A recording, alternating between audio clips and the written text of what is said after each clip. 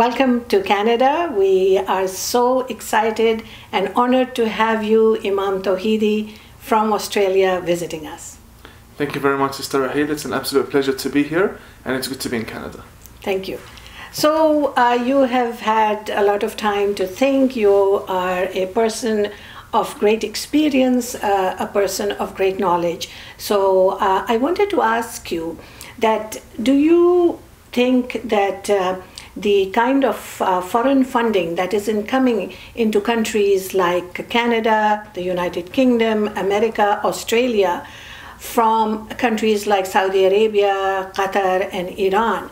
Do you think that this foreign funding uh, can in any way be harmful for the countries that we live in? To begin with, foreign funding that threatens uh, Australia, Canada, and the United States is always foreign funding that comes from countries that have an agenda.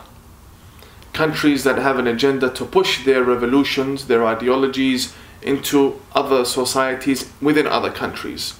Therefore, that is harmful because obviously countries fund each other for humanitarian causes and so on. But it is wrong to use that as an excuse to push your agenda in other people's countries. When looking at Muslim governments, all Muslim governments have a special budget for Sharia law all of them. They have a special budget, whether it be through books, through schools, through establishing organizations. They all have a special budget which they use to spread their ideology around the world. I believe this is not only threatening, I believe it's damaging for the other communities within other countries. And that is basically because in the Muslim world, a Muslim citizen living in Canada can be a Canadian citizen. However, this very Muslim still belongs to the Muslim Ummah. So he's a Canadian citizen, but if the Mufti of Mecca issues a fatwa for him to commit an act, he will do that on Canadian soil. And the ground that prepares such an ideology for them in Canada is the foreign funding. Okay, thank you, thank you, thank you very much. So, you are in Canada at a very interesting time for the Muslim communities of Canada. You may be aware that the Canadian government has just passed a motion. It is called M103. It has been in the works for over a year now, and this is a motion that gives uh, a suggestion that Muslims are uh, being uh, being attacked, or there is a rampant bigotry and racism against Muslims. And of course, this has created the term Islamophobia. Um, and this is not something that is just in Canada. As you may be aware, all across the Western world, the term Islamophobia is used. I'd like to know what you think about the term Islamophobia, and do you think genuinely that Muslims are being persecuted in the West? I think that the term in itself was introduced as a political mean uh, to be played as the victim card because we're both we're both Muslim and there are many Muslims that we deal with on a daily basis. The term Islamophobia would be more suitable to be applied between Muslims rather than between Muslims and non-Muslims. We Muslims have been killing each other for the past 1,400 years, literally 1,400 years. We massacred the family of our own Prophet. We conducted invasions from Arabia to Africa down to Asia. We've done everything no other religion has done when it comes to crimes and so on, all in the name of religion. Yes, we condemn. We, we don't like what, what happened in history, but it's part of history. And because you have such a, a history engraved within the Muslim identity, it becomes very interesting how all of a sudden the person who belongs to a belief system that is in need of urgent reformation because of the amount of violence within it turns around to be the most oppressed victim in a country like Canada. How this happens, I don't know. I don't want to turn around and blame uh, the Prime Minister for everything or any government that, that is suffering from these uh, waves. But what I do have to say from my perspective, is that the Muslim Brotherhood and the Islamist organizations have played their cards so well and in such a calculated way that they have reached the offices of great leaders and now they are feeding them with wrong advice about everything. And the M103 is part of the problem. It's not like it's part of the solution. M103, in my opinion, violates free speech. If we really cared about minorities, and which is our duty as Muslims to care about minorities from a religious perspective, we would have filed for a similar M103 in Muslim countries for the Jews and Christians at least. So that the world can see how they will be treated if they wanted to, to play the victim card like we are playing in, in the West. I disagree with it strongly, and I believe it is a very divisive motion. It's a motion that doesn't carry any logic behind it, and there's no result. You can never seal my mouth if I want to criticize someone or an Islamic script or a book that teaches fundamental teachings. The M103 can never silence me. Uh, there are people that believe in, in, in, a, in, in a reformation that is coming, and these uh, motions will never be able to stop that. All what these motions are doing, they are slowing down the eradication of fundamentalist teachings and Islamic extremism. That's all what they are doing. You use the term reformation. How do you see this reformation, and do you see it happening across the Muslim world or only in the West? No, reform is a is a is a real concept. It's happening, and it, it happened to all Abrahamic religions before uh, Islam, and Islam claims itself to be part of, of the Abrahamic faith. It associates itself with that uh, chain of, of Abrahamic religions, and all of them have undergone a reformation, a successful reformation. Uh, and there's no reason why Islam will not undergo its reformation. However, Islam's reformation will be very unique. Unique in the sense that reformation cannot take place through the clerical organizations, through the mullahs uh, in power, or through Islamic governments, because they're all corrupt. They are all corrupt. No one can point to any Islamic government and say this is a good Islamic government. It has never beheaded, it has never raped, it has never killed, it has never exiled, it has never imprisoned journalists, it has never banned free speech. It doesn't exist. All Islamic governments are guilty of these crimes. Therefore, a reformation cannot take place through Islamic governments, even if Islamic governments wanted to assist. An Islamic reformation will take place, in my opinion, through the Muslims that traveled, or in other words, fled Muslim countries, came to the West, came to even more liberal Muslim societies such as Dubai, which is a democratic society, but it has a Muslim majority. But Sharia law doesn't rule, they don't behead. So Saudi Arabia, for example, it beheads people. The very ruling in uh, UAE, uh, Emirates, and for example Kuwait, it's frowned upon. Nobody beheads in those areas. Therefore, there's a big difference between a Muslim nation governed by democracy and a Muslim government, an Islamic government based on Sharia law. Reformation, in my opinion, will take place because there are Muslims that have fled these theocratic environments and have come to the West and have realized that living with other people is possible. Having peaceful relationships with other religions is possible interfaith opens doors for achieving achieving global peace. Therefore, why not? And these people will be the main reason for the Islamic reform. We need to work with them, we need to champion them, we need to give them our platforms. At the same time, we must not forget one very important fact, and that is when we are working for Islamic reform, there are people that are working to take back Islam 1400 years the other way. So we are up against a uphill battle, but it is a battle we shall win, definitely. Because all of the matters that are happening around the world show that everything is in our favor. The world isn't full of people who hate Islam. The world is full of people who hate the radicals from every religion the KKK, the other cults, uh, Orthodox uh, uh, fundamentalist preachers from other religions that have isolated themselves and, and believe in beheading. Uh, and we have them, the Wahhabis and the Salafis and the fundamentalists as well. And the world is uniting against them. Therefore, the key to Reformation is that we moderate, peaceful individuals, Muslims, need to unite with them against the fundamentalists from within our own faith. That is the only way we can achieve reformation. Obviously, there are many other chapters and uh, aspects and also angles one can look at Islamic reformation through. Uh, however, it is a real issue, it's happening, and uh, we are not the first to, to speak about Islamic reform. Islamic reform has been uh, a matter of concern for the Muslim world and Muslim philosophers and thinkers from the 5th century. Uh, sorry, since 500 years, since uh, five centuries ago. Uh, and for the last 500 years, we, we've been dealing with people from Sudan who have claimed to be reformers and were killed. there are many reformers around the world, even in Britain, even the, the cameleers that came to Australia, the Afghan cameleers. All of them had a vision for reform and they married into different communities and so on. The, the integration and diversity is real and it's, uh, it's a matter that can be achieved and I support it strongly. However, we say to the Western world, be patient with us.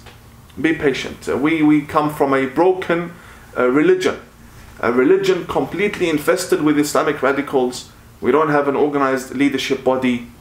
Be patient with us. Don't expect an Islamic Reformation like the Reformation of Christianity. The popes gather and the church gathers and the people gather and they say, okay, the benefit is this and let's do it. No. There will be lots of blood spilled before an actual reformation happens. Many people will lose power. Many politicians will gain power who have uh, liberal and secular views. Therefore, we say to Western governments, it's not a, a dream, it's not something we're imagining, it's something we're living. Be patient with us. Thank you. Um, that's, that's very inspiring. And on a personal note, do you think that Muslim women have a role to play in this reformation? Sister Raheel, I believe that if there's a Muslim woman that will play a main role in this whole issue of reformation, it is yourself. In my honest opinion, if there is one Muslim woman that is inspiring Muslim women, men and women, in this issue, uh, it is yourself, and I congratulate you on that. Thank you very much. That wasn't uh, where I was leading to, but thank you very much for that. But you know, you talked about integration and global peace. And, and you have mentioned more than once that it's important for the Abrahamic faiths, Judaism, Christianity, and Islam, to work together, to learn from each other, to have dialogue. But you obviously must be aware also that there is this strong rise of anti Semitism. In the Muslim world, there is a feeling of angst against the Jews, against uh, the existence of Israel. How do you think Muslims should overcome this uh, this prejudice they have, this idea that everything in the world is a conspiracy theory by the Zionists? Uh, in my opinion, if there was any uh, interference from the non Muslims into the Muslim world, for example, the previous American administration did fund ISIS, but it did not create ISIS. There's a big difference between creating and funding. Funding means you use your enemy against another enemy. That's what government policy means. To protect the government, in the terminologies of government policy, you use one enemy against the other. From a religious perspective, they haven't created anything. The Zionists haven't created anything, and the Americans haven't created anything. We already had the problem within our books. All what we did was show here. Therefore, the hatred that we have as Muslims against the Jewish people, I'm a Shia Muslim. Our, the, the problem of the Shia Muslims against the Jews, or Israel, or the, any, anyone for that matter, began after 1979. Shia Muslims don't claim land from Israel, and Israel doesn't claim land from us. The Jewish people don't want anything from us, and we don't want anything from them. They've lived in Tehran, in Iraq, and we have cemeteries that, that prove their existence on this land. And there are many Muslims that have lived within uh, the Palestinian region, which is now governed by the Jewish people. We don't have a problem with them. It is after the Khomeini revolution that everybody started to scream Al Quds, Al Quds. And Al Quds doesn't belong to us. We have nothing to do with Al Quds. We Shia Muslims, we have nothing to do with Al Quds. It was built by the, the second caliph and the Umayyad dynasty. We reject both the second caliph and the Umayyad dynasty.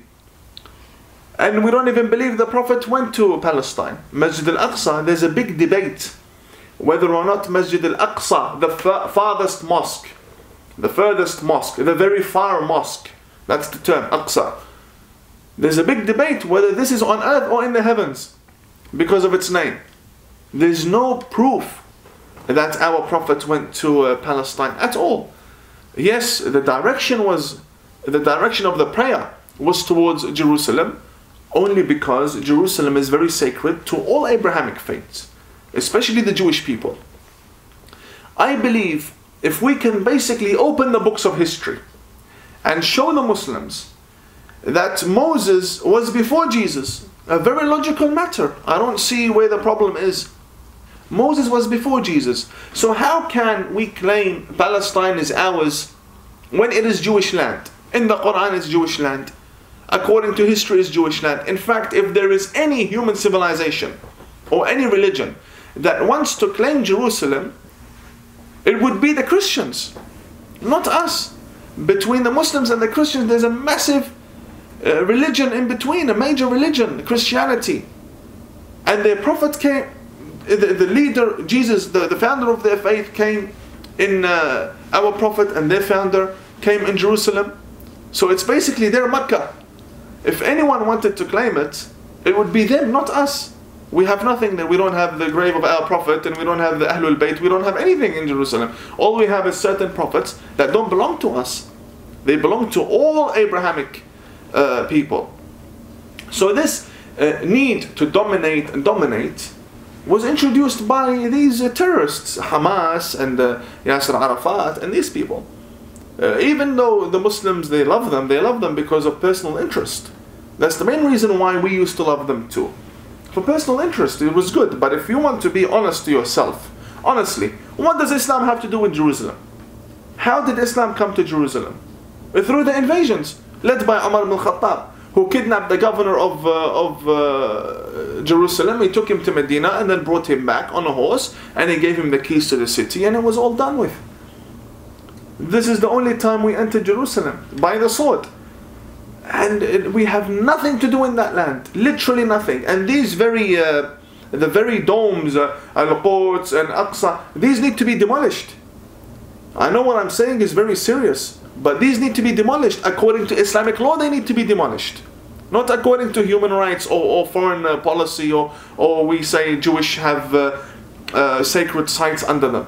According care less who has uh, sacred sites under this. I'm saying according to Islam, you cannot pray on occupied land.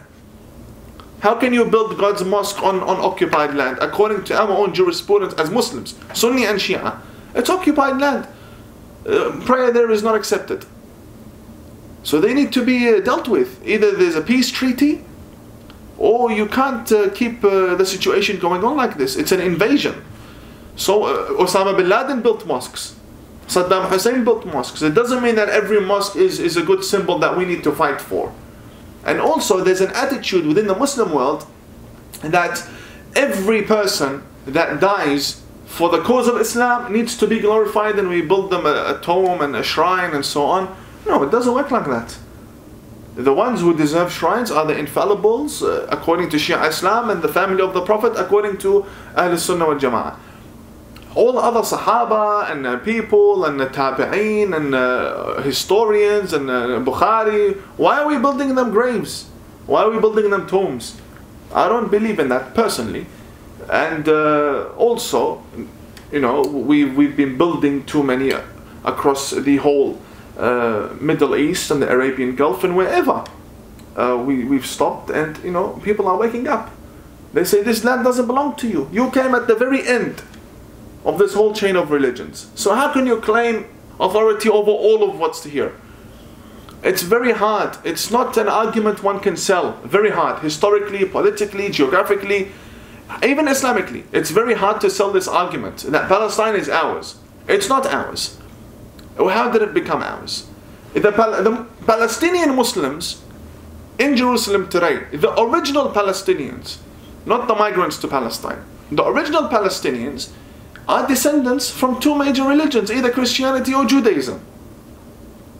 So if a Palestinian chooses to convert to Islam by the sword or by the book, only your religion changes. The identity of the land doesn't change.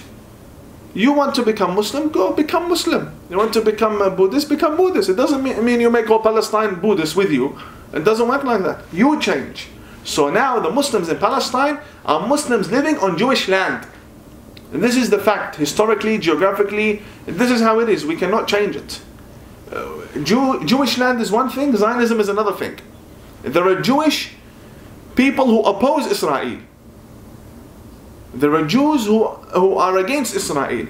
And Israel welcomes it. Big deal. Every government has an opposition. Let's not get mixed up. Israel as a country is one thing, Jewish land is another thing. Israel has every right to be in, uh, to have a country on Jewish land. It's their land. It's their land. And uh, what do we have now from Palestine? Show me one good thing from Palestine. All what they have given us Muslim Brotherhood and, and Hizb tahrir and Hamas, and their rulers are robbing them. These are the facts. And I, I uh, strongly believe in good relationships with the Jewish community. Strongly. Uh, because the reality is, we are all brothers in humanity at the end of the day. If we're not brothers in faith, we're brothers and sisters in humanity. And I believe the, this is a battle that our, our forefathers started. Decades ago, they wanted to start a problem. Why do the upcoming generations still have to suffer and continue that problem? I believe, whether it be a two state solution or whatever, depending on the politicians and, and their uh, belief for the future, but I believe that interfaith is very uh, important relations between the two religions, and uh, we obviously work in that field. Thank you, thank you. So, um, Imam Tawhidi, I find that you are extremely outspoken, you are extremely frank, honest, and you uh, bring up issues that are very challenging for the status quo of the Muslims. You must have received a lot of feedback and pushback and hostility. Can you speak about that and how do you deal with it? Yes, uh, we receive lots of threats, feedback, recommendations, whatever. One, it's it, it is difficult, but it's also expected. You don't enter a field like this not expecting it.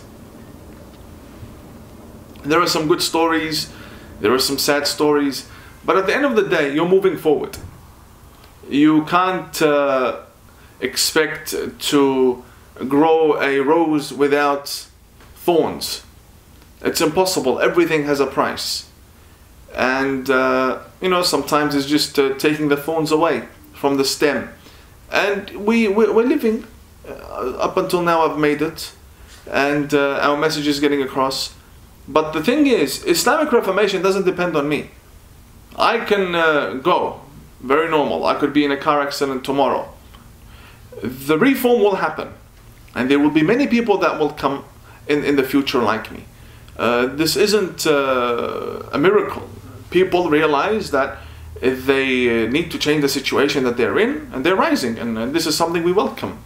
So, yes, it's very expected. You'll make many sacrifices, you'll lose lots of friends and family members, but it's worth it at the end of the day. You're saving humanity. You're doing everything you can to save humanity. Let's put it that way.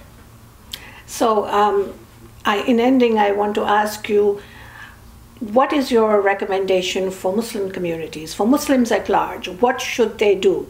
Maybe three things that they should be doing to build this movement, to move ahead, to live in peace with each other. I believe uh, one of the main reasons why peace is achieved or how peace is achieved is if we stop linking ourselves with governments back home. So if I'm Syrian and Syria is at war, it doesn't mean I become a, a, political activist for my country in, in the West. And I start losing friends and family because they don't agree with me. If I'm a Muslim and I have a satellite channel and I see things happening in the Middle East, it doesn't mean I make what I see on TV my agenda when I go outside in the Muslim community. Things don't work like that. Another issue is understanding that the West doesn't tolerate this hatred. In the Middle East, you see something on TV, you protest in the street, everybody knows what you're talking about.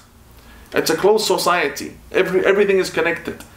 Here, you can't see something on TV, go outside and want to start problems. People won't know what you want. And you, you only bring fear in their hearts and unrest in the community. I think in order to achieve peace, something that's very doable, Muslims need to separate themselves with what is happening back home. The Middle East will always have problems from the beginning of, of human time up until now and until the end of time. The Middle East will never be free from problems. If we want to live in the West peacefully, stop linking yourself with the problems in the Middle East. Yes, condemn the terrorism, condemn the problems, write articles how we can achieve solu- solutions, but don't expect to be a political activist for Saudi Arabia or Iran in Canada. That's very wrong. That's not your duty. That's not your responsibility. You're a citizen who abides by the Canadian law. Respect the Canadian law, respect the Australian law. There's no need for you to turn into a political activist because you see a video on YouTube and now you want to bring down Western civilization and you want to attack the disbelievers and the Jews and it doesn't work like that. Separate between the two and live your life honorably. God gave you the opportunity to come to Australia, Canada, America. Use that opportunity to be a, a better human being. You cannot be a better human being from where you came from, otherwise, you wouldn't have come. The main reason why you say, I've come for a better life, better life makes you a better human being. Therefore, live it and enjoy it. Smile, be happy, enjoy the healthy lifestyle. Uh, don't live like you hate the world you are living in. And that's unfortunately one of the main problems that they are facing. So, yes. Thank you. Thank you very much. Thank you for having me. Pleasure to hear you speak. I wish you well. I, I pray that you stay safe. Thank you. Thank you and very continue much. the work. Likewise. And we look forward to doing something together. Inshallah. Likewise. Likewise. Thank Thank, you you so very much. much.